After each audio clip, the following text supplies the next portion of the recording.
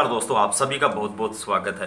राष्ट्रीय लोकतांत्रिक पार्टी के संयोजक हनुमान बेनीवाल ने सरकार को चेताया है कि जो कर्जा आपने माफ़ किया है, स्पष्टीकरण दे सरकार।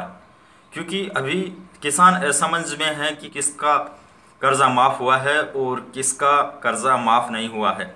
उन्होंने केसीसी यानी जो केसीसी का लोन होता है, केसीसी कर्जा होता है उस पर भी आज बयान दिया है तो हम वो वीडियो दिखाएँगे आपको। और हनुमान बेनीवाल ने कहा है कि जो सरकार ने कहा था कि अगर उनकी सरकार आ गई तो पैंतीस सौ रुपये बेरोजगारों को भत्ता मिलेगा और बड़ी हुंकार भरेंगे।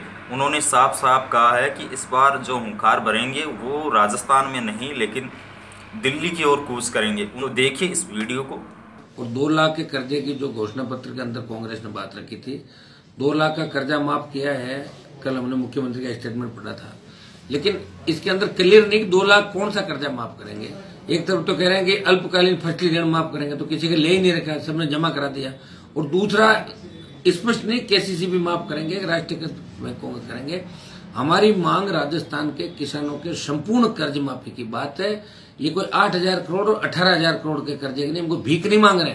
हमारा हमारा अधिकार मांग रहे दिल्ली के अंदर धरना सेटों का अगर तीन लाख करोड़ का कर्जा कांग्रेस बीजेपी माफ़ कर सकती है।